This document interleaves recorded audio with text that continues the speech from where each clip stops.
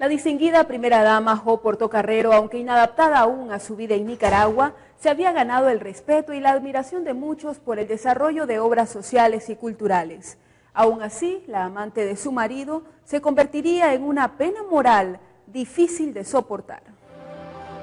Para nadie era un secreto que el matrimonio Somoza Portocarrero había sido más un acto de conveniencia que de amor. Pero Job supo ganarse su lugar como primera dama con su refinamiento y altruismo. Su esposo era un mujeriego empedernido y tenía varias amantes. En un principio ella buscó la forma de proteger su matrimonio. Roberto Sánchez era periodista en esa época y hoy, después de 42 años, nos revela la fuente de una de sus mejores historias periodísticas. Resulta que un día yo recibí en la prensa, hace más o menos 42 años, hace unos cuantos días, una llamada de parte del teniente Ronald Sanson. Eh, Ronald me dijo que tenía, me tenía un encargo de parte de Doña Job y que me lo iba a entregar eh, en una casa X, en la brisa, ¿no? Efectivamente, Ronald Sanson me entregó un maletín Sansonay, donde me sorprendió que había documentos muy confidenciales eh, de un alto funcionario del gobierno de Somoza. Para mí aquello fue un poco raro porque no entendía cómo doña Job Portocarrero de Somoza podía enviarme documentos que iban a hacer, iban a provocar un enorme escándalo alrededor de un funcionario del gobierno. El escándalo fue tan grande que a los pocos días el gobierno se vio obligado a despedir a este alto funcionario. Ella protegía su espacio político, su espacio de poder. Y entonces, ¿qué hacía? Cuando sabía que el general andaba con alguna muchacha joven, eh, teniendo relaciones íntimas, lo que podría desembocar en, eh, en un divorcio con ella y un matrimonio, entonces ella buscaba cómo desacreditar al funcionario padre de la muchacha que andaba con Somoza. Y eso fue lo que ocurrió con esas pruebas que me mandó. Esa estrategia funcionó hasta que su marido, sin el menor reparo, inició un romance mucho más abierto con una joven que trabajaba en Radio Mundial, Dinora Samson. Una vez en el diario Novedades me dicen a mí, mira, nosotros ya sabíamos, ¿verdad?, que había una aventurita ahí porque era público, la aventura que tuvo el general Somoza con Dinora Samson me decían, cuidado, va a sacar una foto, va a salir alguna foto en el periódico de esta señora. Y como yo, para donde hay 20, 30, 40 mil personas un acto, ¿cómo va a saber si está ella o no? Bueno, ¿cómo hacer? Si no nos vamos los dos de aquí, nos decía el ingeniero Luis Palé de Baile, que es el director de Nudal. O sea, teníamos que tener mucho cuidado para que no saliera la Dinora.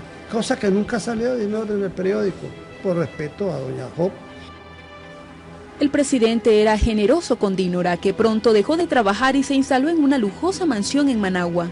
Pero además llegó a tener mucha influencia sobre Somoza de baile y sus decisiones gubernamentales, por lo que muchos funcionarios le rendían honores, siendo esto una gran afrenta para la refinada Job. Eso era, es que Tacho también perdió lo que se llama el piso con la Dinora, completamente perdió esta mujer fue muy sufrida en eso. Mucha gente no entiende eso. ¿Usted cree que le gusta que, cuando íbamos en la campaña política, allá estábamos nosotros con Doña y nosotros, sabíamos que allá enfrente estaba la Doña Dinora, con un grupito. Claro, como dice Porfirio, ahí no había foto, ahí no había nada. Pero nosotros sabíamos, y Doña Job sabía perfectamente que ahí estaba la Dinora. Es decir, ¿a qué mujer le gusta eso? Por favor. Y sin embargo ella guardó siempre esa compostura de dama. Nunca se exhibió en nada. ¿Cómo es posible que deje a una dama linda, culta, inteligente, elegante, como la otra? Pero una muchacha que, claro, que debe haber, tenía sus atractivos físicos pero en el machismo nuestro ella hacía el ridículo, porque no era una muchacha inocente que había conquistado, o una gran vampiresa culta, sino que una muchacha que ya traía su, su récord, ¿no? nosotros en el, en el machismo nuestro lo consideramos que él hizo el ridículo y que lo daña tremendamente. Fue un gran poder, más grande que el de la señora Portocarrero. Un gran poder porque cantidad de funcionarios del gobierno y altos eh, militares eh, crearon una especie de corte para agasajarla. Sus fiestas eran de lo más concurridas y refinadas. Era verdaderamente un poder a la orilla de Somoza. ¿eh? y ella se jactaba de ese poder. Incluso había actividades públicas en las cuales ella llegaba de alguna manera provocando a Doña Job. Me acuerdo cuando se inauguró la, eh, una serie mundial en el año 72, una serie mundial de béisbol. Yajope estaba donde le correspondía según el protocolo, pero ahí mismo en cerca estaba la Inora Sanso. Ella tenía influencia, pero no poder. Ella no podía ni siquiera quitar un empleado pues, del gobierno. Podía recomendar a alguien que le dieran un puestecito, esto sí y, habían muchos funcionarios del gobierno, incluyendo ministros y militares de, alto rango, que buscaban como ella, eh, congraciarse con ella para que ella le recomendara esas cosas de sus amigos, de sus parientes, de que le consiguiera. Pero no era un poder, eh, eso es mentira. Aunque en apariencias el matrimonio seguía su curso, el romance de Anastasio Somoza de Baile era demasiado para su esposa, que empezó a ausentarse de los actos protocolarios y viajaba más seguido a Estados Unidos, donde permanecía por largas temporadas. Mire, una vez que estamos todos reunidos en el Hospital del Niño, llegó el señor con sus buenos tragos y ¡bam! le pegó una patada a la puerta y se fue a la puerta Y en inglés nos dijo, una mala palabra y que no fuera. Doña Hobbs se levantó y le dice, Tacho, ninguno de mis amigos se va. Y vos te vas de aquí. Ahora, claro, nosotros todos nos fuimos yendo poco a poco porque era lo más prudente. Pero al salir, ¿no te acuerdas de Tomasito?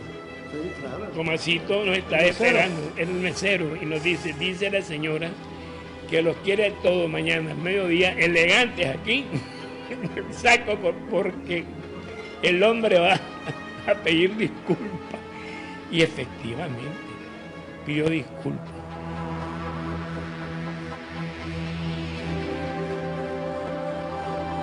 Después del terremoto de 1972 que destruye casi toda la capital, Job se pone al frente de la emergencia aunque su labor de asistencia se opaca por las acciones de su marido, que empezó a desviar la ayuda a sus cuentas personales, lo que le causa mucha molestia. En el libro de Mr. Hannah Aladínora, se dice que entonces doña Job comentó en el círculo familiar su molestia con el general. Este general no se compone, no le basta el dolor y el sufrimiento del pueblo, quiere tener tiempo para fechorías y sodomías, le odio, le odio. En 1978 el matrimonio estaba irremediablemente roto y sucede el divorcio de una forma muy discreta.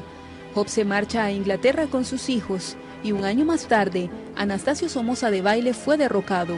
Huyó a Paraguay donde vivió abiertamente con Dinora Sampson hasta su asesinato el 17 de septiembre de 1980. Lo primero que tiene que haber es un homenaje público para ella en ese teatro, hacerle algo. Tenemos que hacerle un homenaje, un homenaje nacional, un reconocimiento nacional.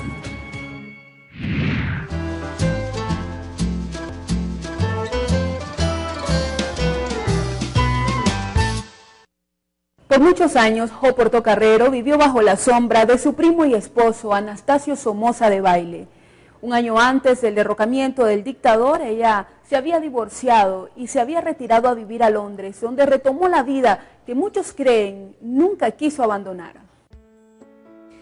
En Inglaterra daba fiestas para numerosos miembros de la aristocracia, quienes la conocían como Madame Somoza. Pero en 1982 Dos años después del asesinato de su primer esposo, contrae segundas nupcias con el multimillonario americano establecido en El Salvador, Archibald Doshi, quien, según dicen, la amaba intensamente. que eso sí me parece que ese hombre la quería mucho. No lo sé, no sé lo que ella quería, pero de él tengo alguna pista, porque después que ella muere de cáncer en el 91, Archie Baldocci me compró toda la colección de fotografías de, de, la muerta, pues, de, la Hop ya fallecida. Y eso es un gesto que solo lo hace un hombre que realmente se siente lastimado emocionalmente. Porque ya fallecida ella, pues podía haber dicho, esto se acabó. Y... Ese hombre, la señora se levantaba y le jalaba la silla. La señora se sentaba y le ponía... Qué cosa más cambiada a mi jefe. Es decir, ella, por lo menos, los últimos años de su vida, tuvo un goce. Este señor la llevó a donde ella quería ir. Ella fue al torneo de Wimbledon. Archie compraba los mejores tickets para ella y, y por lo menos los últimos años de su vida allá en Miami los vivió. Luego de unos años viviendo en Londres, regresa a Estados Unidos. Hop no tuvo más hijos. En 1988, la revista South Florida Business Journal reportó que su fortuna ascendía a 200 millones de dólares, lo que la convertía en la mujer más rica de ese estado. En 1989 le detectan un cáncer, ante el cual perdió la lucha el 5 de octubre de 1991 a los 62 años de edad. Todos sus hijos permanecen fuera del país cada quien agarró su camino. Ah, entiendo yo que Carolina se casó con un abogado en Nueva York y se fue para Nueva York. Carla Somoza Portocarrero se hizo monja de Madre Teresa de Calcuta, de una, orden de, una señora ahí. Eh, Anastasio Somoza Portocarrero, el Chihuín, eh, vive en Guatemala, tiene su negocio, yo no sé cómo le va. Ah, Julio, he oído decir, no, me consta, que está en un asilo de enfermos mentales en Estados Unidos.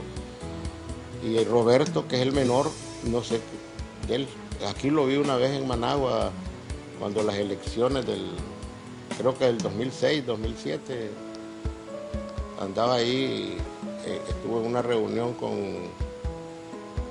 José Rizo Castellón yo le digo varias veces, le he dicho al comandante Daniel y a la compañera Rosario, hombre, reconozcanle, hombre, sí, sí, sí, no es ningún pecado. Si el Rubén Darío es un orgullo de los nicaragüenses, ahí nos, presentan todos. Mire, la señora Somoza no fue comprendida. La señora Somoza fue una dama, fue una exquisita y bella dama. Lo que pasa que las adversidades y las cosas la revolución y todo vino cambiando en toda esta mujer. Pero yo lo único que le pido, que le reconozcan, que le reconozcan. Lo primero que tiene que haber es un homenaje público para ella en ese teatro, hacerle algo. Tenemos que hacerle un homenaje. Un homenaje nacional, un reconocimiento nacional.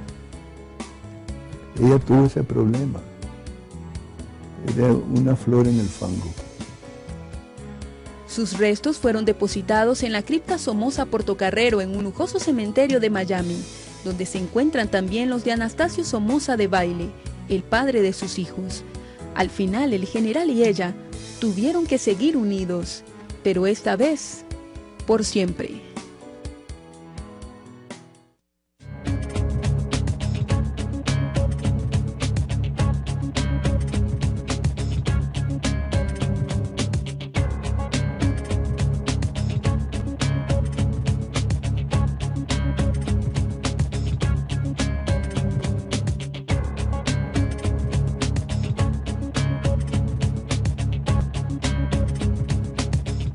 La vida de Joe Portocarrero no deja de ser interesante y puede que su legado, aunque envuelto en una dictadura y muy poco conocido, haya sido importante para el país. Soy Jennifer Ortiz, los espero la próxima semana acá en Mi Vida, Mi Historia por el canal del Orgullo Nicaragüense.